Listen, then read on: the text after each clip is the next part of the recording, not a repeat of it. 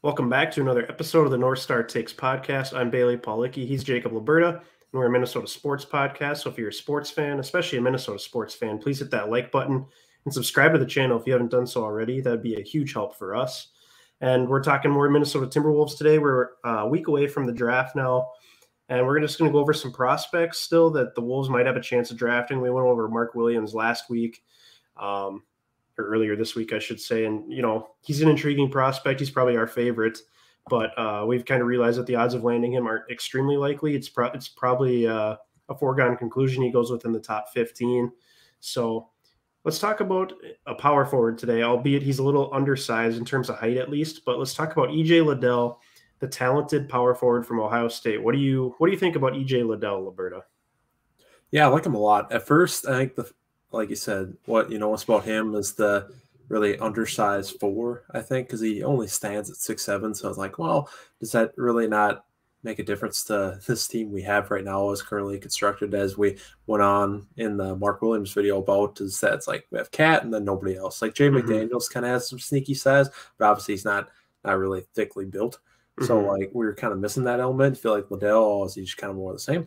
But the thing is, they said he's a pretty bouncy player and as great athleticism, he kind of fits the new age four in the NBA, yeah. which is what we need. Albeit again six seven, but he blocks a lot of shots. They they think his uh, scouts think his game can translate to the NBA as far as that goes, just because he had two and a half per game at Ohio State, and they think he can still remain at that level, um, even though it's just yeah, again, uh, probably a inch or two shorter than you'd like, but yeah. he also can space the floor too. He's a 38% three point shooter and he, he plays with a lot of physicality when he wants to. He can still hold his own in the paint. So really, uh, it feels like a pretty good two way player for us that w- that could fit right into that four spot that we're really looking for as far as the floor spacer goes. Next to KAT with uh, obviously Vando, that was the big problem last year was that he yeah. was good, but the only thing he couldn't do really was keep people out of the paint because he just had no outside shot whatsoever. Which Liddell brings both the mid range and an improved three point shot to the to the table. So I think this this would be another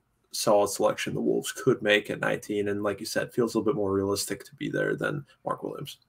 So I was going to kind of ask you, and I think you sort of answered it. Do you think this that EJ Liddell would slot in as a starter almost right away? Probably not right away. I don't think he'd start like night one, but I think it would be kind of one of those things that eventually it'd be like, oh, now all of a sudden he's starting, where it's like 10, 20 games of the season where everybody kind of gets a feet under him. He gets uh, some minutes off the bench and then kind of settles into a role really and then they probably test him out when the opportunity presents itself and i don't think that would take too long in the season mm-hmm. but I mean, you never really know for sure, but it, it kind of feels that way just because it's like, again, it's that guy that would open up the paint a lot more for KAT, which is probably what you want, along with Ant, too, quite frankly, because you want Ant to be able to penetrate as much as possible because that's yeah. uh, arguably the best part of his game is just being explosive at the rim. And the more you keep guys honest, really, uh, guarding Liddell and like, let's say the corner on the on the wings or something, then you just have more space for your two superstars to operate. Yeah, and honestly, like I feel like if he was six nine or six ten, I feel like this would be a slam dunk type of pick because oh, absolutely. I think he's talented enough to be just a perfect complementary player to, like you mentioned, to Ant and KAT. That you know he can space the floor, he can open up more driving lanes for Ant, and you know if he can also find a way to rebound, eh, you know, at a six foot seven height, playing the power forward. Um, I mean, we had guys like Taurean Prince, which I'm not exactly sure what his height is, but he's not like the tallest guy in the world either. He was playing a little power forward. Um, we've had undersized fours before, and you know, if EJ Liddell is more of an effort type guy, kind of like Vando, um, and he can get rebounds just based off of energy and effort and positioning. Um, if he's able to rebound, you know, he's already a much uh, better offensive player than Vando is. So um, if you can kind of if he can kind of prove that he can rebound at the NBA level, then I'm all over that. You know, I don't I don't care what his size is as long as he can get in there and help KAT out in terms of rebounding. I still think having another center is the most ideal, just because I think you know you need somebody that can come in off the bench that gives you some size. Maybe a guy that plays next to KAT that's even bigger than KAT takes a little pressure off of him. But I don't think this is a bad alternative just because this isn't a very um, center heavy draft in terms of talent. So you're probably looking more at a power forward or even like a small forward um, being a very realistic option in this draft. Yeah, absolutely. Feels like we might add another stretch player here, uh, three or four, and kind of add to the ones we already got, which I don't think necessarily is a bad thing either. I think that's kind of the unusual versatility I think the Wolves brought to many teams last year that mm-hmm. really mm. they couldn't counter. Like I think that's what made us so good, at least offensively, I think, is that we had so many guys out there that were just mismatches for defenses where we could just really facilitate however we wanted to and just score buckets at will. I mean, I I think the more versatile you can get, the better. But like you said, I think it, it feels like the need more is to get a backup center and uh, spell KAT a little bit.